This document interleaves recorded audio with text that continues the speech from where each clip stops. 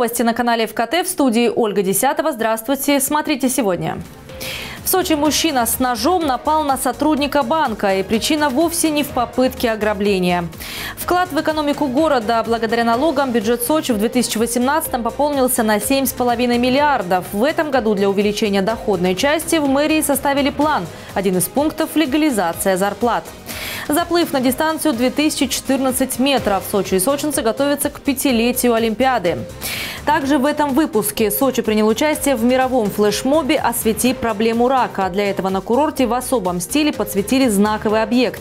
А в память о Децле в Сочи создали граффити. Ну и первый в российской истории батутист-олимпиец встретился с сочинскими спортсменами.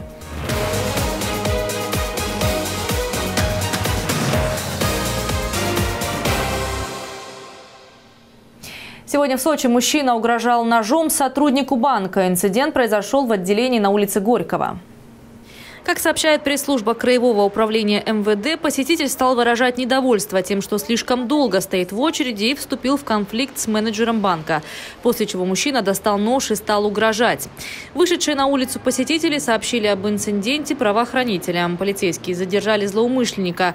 Личность вооруженного ножом мужчины установлена, при нем были документы. Задержанный является жителем Сочи. Также стало известно, что гражданин состоит на учете в психоневрологическом диспансере сфере. Сотрудники полиции получили сигнал об инциденте. Злоумышленник был оперативно задержан и доставлен в отдел полиции по центральному району города Сочи. В настоящее время по данному факту проводится проверка.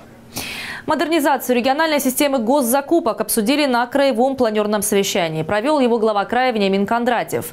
В зале собрались заместители губернатора, руководители профильных ведомств. На видеосвязь вышли все главы муниципалитетов. Как отметил губернатор, система госзакупок – это действенный инструмент для развития экономики края. Поэтому она должна быть прозрачной, эффективной и максимально понятной для всех участников. Тему продолжат наши краснодарские коллеги.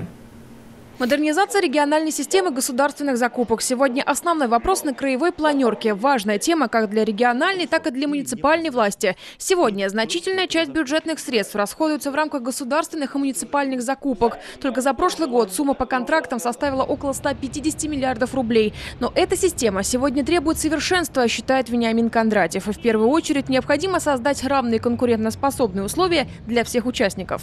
Если мы уберем э, госзакупки на конкурсной основе и уберем конкуренцию, то работать будут только одни. А другие будут на них смотреть и завидовать, и думать, почему они только и работают.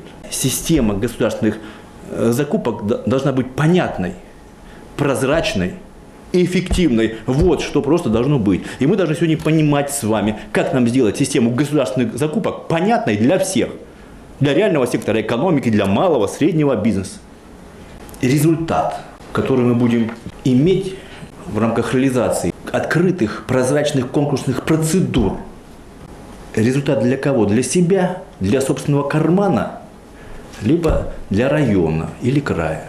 В этом, наверное, разница подхода, в том числе и к оценке прозрачности госзакупок или непрозрачности. Работа по модернизации государственных закупок в крае началась еще в прошлом году. Сначала специалисты проанализировали ситуацию в регионе и определили ряд ключевых проблем. Сегодня на них сосредоточено особое внимание. Большое количество нарушений в контрактной системе начинается с неквалифицированных кадров. Отсюда и неправильное планирование, составление документации с ошибками, формирование неверного отчета. И как итог, закупочный процесс срывается. Чтобы в дальнейшем не допустить подобные ошибки, в каждом районе созданы так называемые центры компетенции. Единый орган закупок закупок для отдельного района, куда будет стекаться вся информация о контрактах от поселений. На такую схему работы муниципалитеты должны были перейти с начала этого года, но и здесь есть отстающие. Не создан центр компетенции только в Сочи. Причина невозможности увеличения штатной численности, как э, э, заявляет муниципалитет. Ну, коллеги, есть разные способы, мы говорили, и создание учреждения, тем более, что город Сочи это не маленький муниципалитет. Плюс можно, наверное, посмотреть и внутренние резервы, если вы не хотите создавать отдельное учреждение, всегда э, можно перераспределить ресурсы трудовые. В некоторых муниципалитетах финансовая дисциплина и вовсе отсутствует. Одна из проблем, с которыми сталкиваются исполнители контрактов – несвоевременный расчет. Кредиторская задолженность перед предпринимателями составляет в общей сложности почти 130 миллионов рублей, что само по себе недопустимо, говорит губернатор. Нужно вовремя рассчитываться с исполнителями это тоже контрактов. А у нас как получается? Порой задержка идет до полугода, года даже идет. Такое ощущение, что это у вас месть за то, что не те выиграли. Вот такое чувство порой складывается. И они говорят, а мы его победили, а теперь нам деньги не дают уже год. Потому что, потому что мы не свои, так и говорят, коллеги, так тоже не пойдет.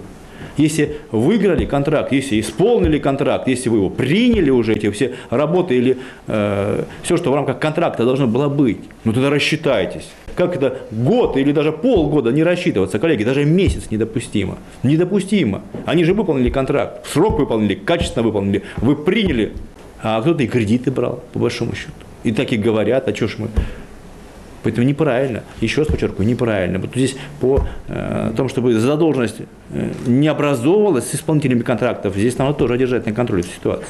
Держать на контроле.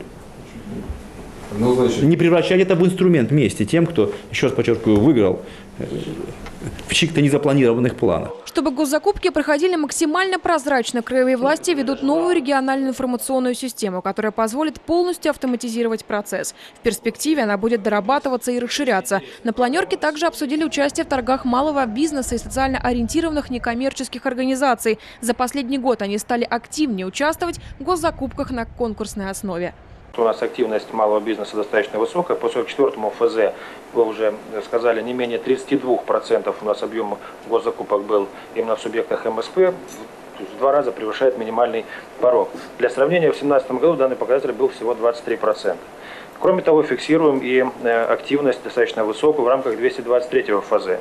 В 2018 году общий объем закупок по 223 закону у нас составил 5,4 миллиарда, из них 4,2 приходится на долю субъектов МСП, что в три раза больше, чем в 2017 году. Госзакупки на конкурсной основе это, это на самом деле э, очень реальный инструмент для развития реального сектора экономики. Поверьте, э, а иначе как нам его развивать, в том числе это гарантированные платежи, э, если контракт заключен с муниципалитетом или государством. А мы должны создать условия для того, чтобы равные были условия и у малого, среднего бизнеса. Конкуренция. Конкурентная среда должна быть, конечно, и в госзакупках. Поэтому они и на конкурсной основе. И, э, Василий Ильич, мы сегодня говорили о том, что у нас 32% да, малого среднего бизнеса, которые принимают участие сегодня э, в закупках. Ну и еще социально ориентированные некоммерческие организации, и они тоже не должны быть обижены. Поэтому эту ситуацию тоже возьмите под свой контроль. Особенно, еще раз подчеркиваю, социально ориентированные некоммерческие организации. За нарушениями в сфере региональных закупок следит Краевое управление Федеральной антимонопольной службы. Количество жалоб на торги, как отметил руководитель ФАС по Краснодарскому краю Олег Тихенький, снижается. Но некоторые муниципальные заказчики все же пытаются поступить хитрее, устраивая так называемые фиктивные торги. Как раз такие антимонопольная служба аннулирует. При наличии допуска нескольких компаний на торги, когда мы видим, что торги реальные, не просто подало 10, но и допущено к торгам там 8-9 компаний, мы никогда такие, у, меня задача такая, мы никогда такие торги отменять не будем и приостанавливать э, заключение контракта не будем. На краевых планерках, которые проводит лично глава региона, присутствуют заместители губернатора, руководители профильных ведомств, а также на видеосвязь выходят все главы муниципалитетов. Такой формат позволяет решать все проблемные вопросы в режиме живого времени. Вот и в этот раз Вениамин Кондратьев обратился к собравшимся. Коллеги, вот э, есть возможность Олег Леонидовичу задать вопрос и особенно главам муниципальных образований, обращаясь, том числе к вашим заместителям, которые э, отвечают за это направление, чтобы потом не говорили опять, что вот здесь антимонопольная служба к вам предвзято относится. Вот э, если не задаете сейчас вопрос, значит потом никогда его и не поднимайте передо мной, потому что хорошо говорить о ком-то, когда его нет в диалоге, очень хорошо. Задайте все вопросы по любой ситуации, в том числе в крайнем случае он возьмет на контроль, потом в персональном режиме к нему подъедете и разберетесь. И дадите оценку своим, в том числе тем, кто у вас отвечает за торги. И вам доложили о том, что, вот извините, антимонопольная служба взяла нам торги, сорвала. Коллеги, еще раз задаю вопрос. Всем, кто э, считает, что где-то ситуация стороны антимонопольной службы была предвзятая к, к вашим э, конкурсным процедурам, пожалуйста, задавайте вопрос. Пожалуйста.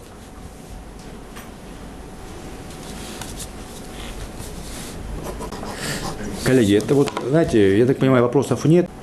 Нелогично. Коллеги, я тогда надеюсь, что и потом их тоже быть не должно уже. В завершение совещания Вениамин Кондратьев отметил, что к теме модернизации государственных закупок будут возвращаться еще не раз. Чтобы больше не допускать ошибок в системе, необходимо их разбирать отдельно по каждому муниципалитету. Яна Бузычкина, Денис Перец, Алексей Комаров, Кубань-24, Краснодар. В этом году на Кубани увеличат финансирование общественно полезных программ некоммерческих организаций почти в два раза – с 16 миллионов рублей до 30. Об этом говорили во время пленарного заседания Краевой общественной палаты. Участие в нем принял губернатор Внемин Кондратьев и спикер кубанского парламента Юрий Бурлачко. В зале собрались активисты со всего региона, волонтеры, спортсмены, ученые. На встрече обозначили основные задачи на 2019 и подвели итоги прошлого года. В Краснодарском крае эта организация работает уже больше пяти лет. Ее участники входят в федеральные, краевые, экспертные и консультативные советы. И сегодня же за активную работу и весомый вклад в развитие региона Вениамин Кондратьев наградил почетными грамотами и дипломами активистов. Ну а продолжим после прогноза погоды и короткой рекламы.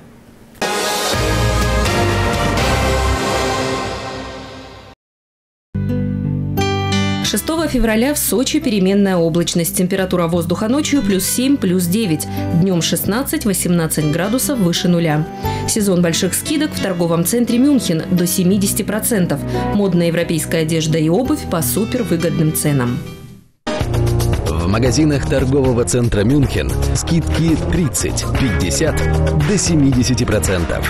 Модные бренды, оригинальный дизайн, яркие аксессуары. Мюнхен. Время выгодных покупок.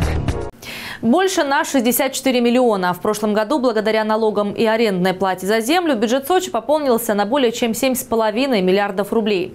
Об этом главе города Анатолию Пахомову на протокольной встрече рассказала заместитель директора Департамента экономики и стратегического развития администрации курорта Лейла Гандалоева. Если говорить об отраслевых поступлениях по налогам, то лидерами уже не первый год являются потребительская и санаторно-курортная отрасль. Также серьезный вклад в экономику города по итогам прошлого года сделали предприятия строительного и дорожно-транспортного сектора и отрасль здравоохранения. За 2018 год в бюджет мы заработали 7 миллиардов 734 миллиона. Это очень хорошо, у нас прирост. Естественно, основной источник дохода НДФЛ, налог на доходы физических лиц, потому что его платят а, особенно все жители, кто у нас работает, получает зарплату. Именно сочинцы его и платят, и те, которые к нам приезжают работать. И, естественно, остается высокий э, порог, ну или высокий сегмент в бюджете, это арендная плата. Мы по-прежнему зарабатываем, сдавая в аренду свое муниципальное имущество. НДФЛ дает почти треть от всех поступлений в бюджет города, поэтому одна из основных задач на год – борьба с задолженностью по зарплате и выявление бизнесменов, которые выплачивают серую зарплату или зарплату в конверте, уходя таким образом от налогов. Мы понимаем те задачи, которые мы на себя взяли, особенно социальные задачи по строительству. Мы должны не только завершить строительство двух школ, которые мы сегодня строим, мы начинаем еще две школы строить, начинаем две, два детских сада строить. У нас надо очень много ремонтировать, поэтому нам нужны деньги. И естественно, что налоговая часть, я думаю, что мы будем действительно э, совершенствоваться и будем больше осуществлять контроль, помогать налоговой службе.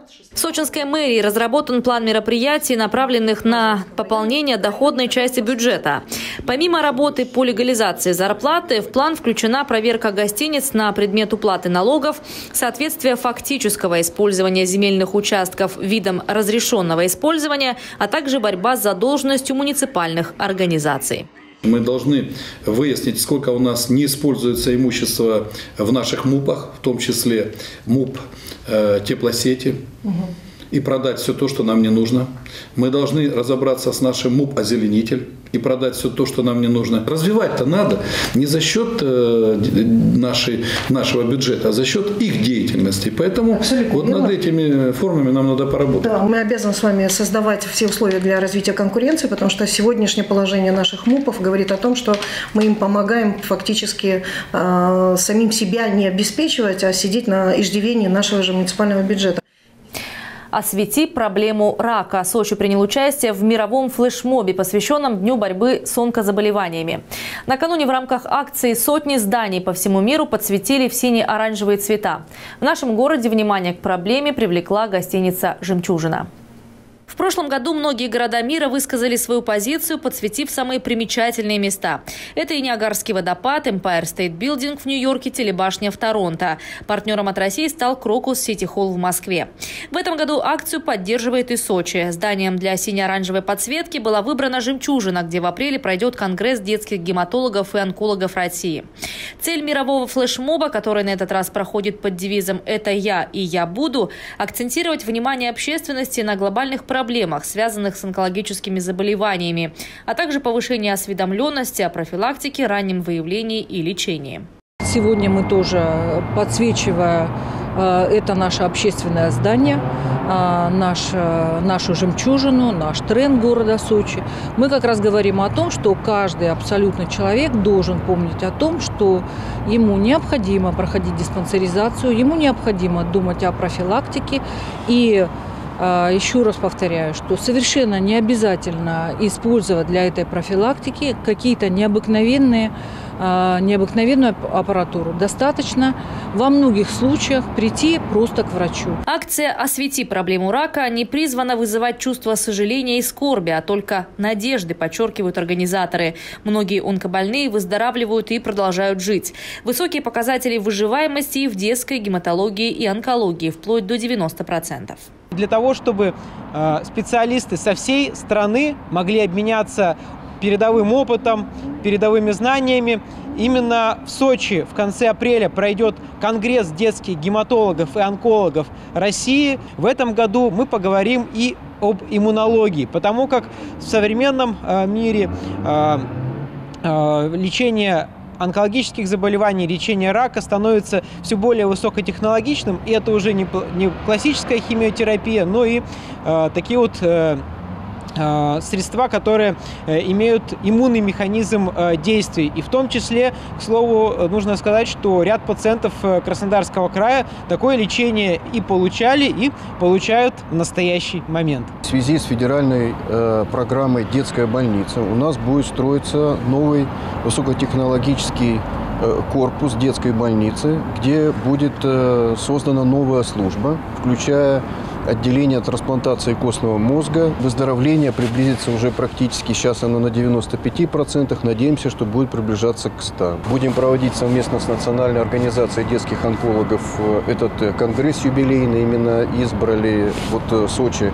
как центр, потому что здесь уже 30 лет, как функционирует вообще служба гематологии, детской гематологии в том числе. Поэтому у нас в Сочи все в порядке. С тобой ушла целая эпоха. В Сочи появилась граффити в память о Децле. Изображение известного рэпера, который ушел из жизни несколько дней назад, нарисовали на здании в районе Светланы. Портрет Децла нарисовала известная в Сочи команда художников «You Feel My Skill». Они авторы десятков портретов известных людей по всему городу. Граффити с изображением рэпера находится на улице Комсомольской. Вот что художники написали в своем посте в Инстаграме. Он открыл нам культуру русского хип-хопа, в которую мы втянулись головой. Благодаря этому и родилась жгучая страсть к граффити и уличному искусству. Именно эта страсть привела нас туда, где мы есть сейчас, и сделала нас теми, кем мы являемся сегодня. С тобой ушла целая эпоха. К работе над портретом художники приступили сразу после того, как узнали о трагическом событии. Кирилл Талмацкий получил широкую известность в 2000-х, выступая под псевдонимом Децл. Дебютный альбом рэпера «Кто ты» вошел в число самых продаваемых в России и продается по сей день. Смотрю теперь на зеркало, ну кем я стал? Мой мир превратился в слезы и печаль. Мои слезы, моя печаль.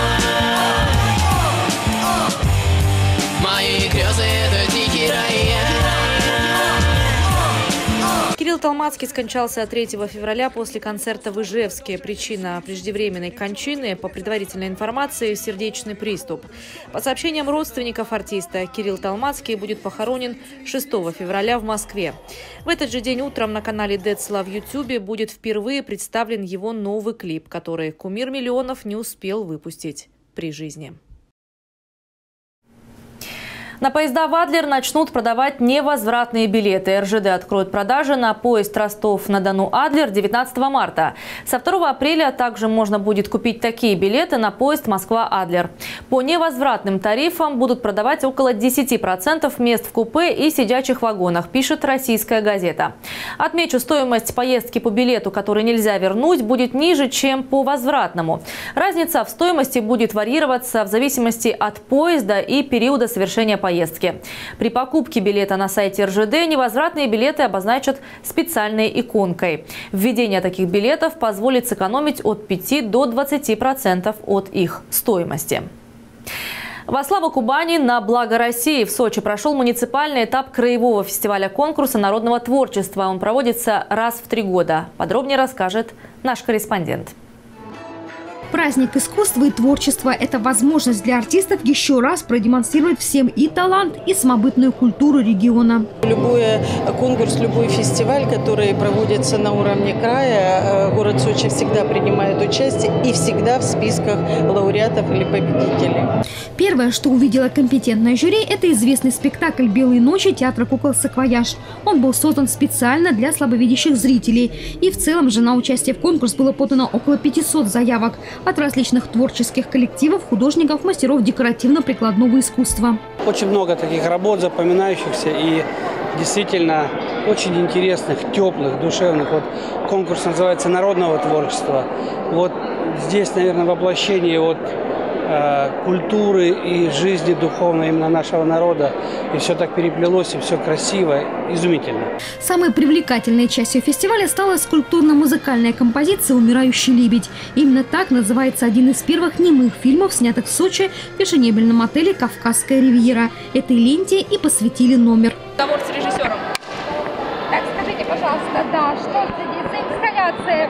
Эта инсталляция называется «Режиссерская группа». То есть мы имитируем ретроспективу, как снимали в Сочи фильмы в 20-х годах прошлого века.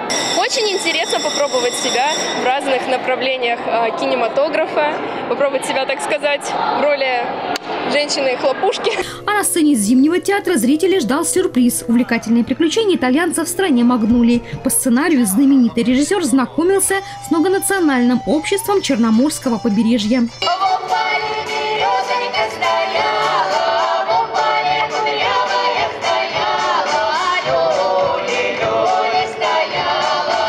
Победители муниципального этапа конкурса «Во славу Кубани на благо России» отправятся в Краснодар, где пройдет финал фестиваля конкурса народного творчества. Елена Овсецина, Алексей Давыдов, телекомпания «ФКТ». Сегодня в Сочи состоялся морской заплыв на 2014 метров. Город готовится к празднованию пятилетия Олимпиады. Для многих физкультурно-спортивных сообществ это знаковое событие. И сегодня, как и перед стартом зимних игр в 2014, они стараются как-то по-особенному отметить эту дату. В 2014 году любители бега из Омска, преодолев дистанцию 3700 километров, попали в Сочи как раз к открытию зимних игр. Это было 5 февраля 2014 года. Сегодня один из участников пробега, ветеран-физкультурник Николай Глушков, а тогда ему было 60, вспоминает события пятилетней давности. Пять лет назад на открытии Олимпиады, зимней Олимпиады в Сочи, я оказался именно вот на этом месте.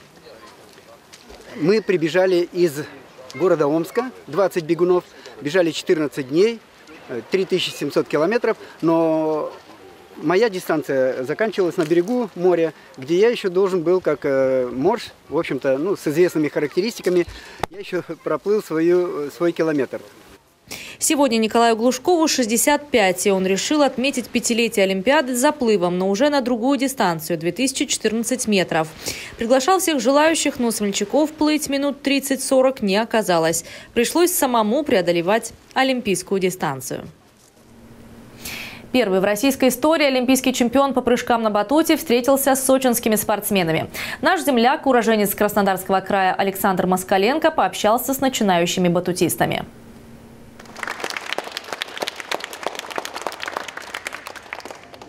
Олимпийский чемпион, причем первый в истории нашей страны, пятикратный чемпион мира. Все это об Александре Москаленко. Сегодня в Сочи он встретился с юными спортсменами, воспитанниками спортивной школы Олимпийского резерва номер три.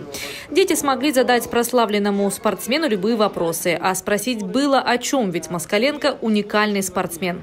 В 99 году он был занесен в Книгу рекордов Гиннесса как обладатель наибольшего количества золотых медалей в истории прыжков на батуте.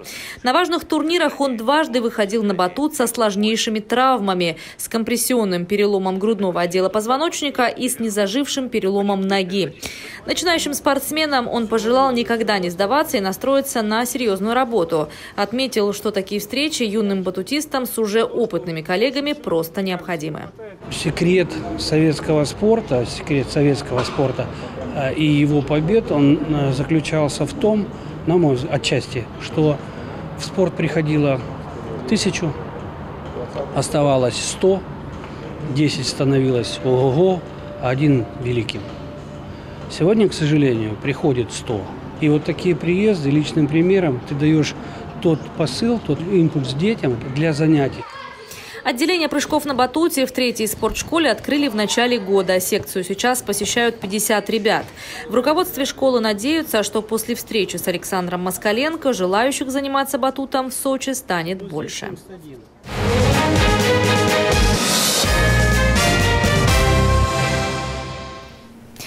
В Сочи прошли открытые чемпионаты первенства города Сочи по всестилевому карате.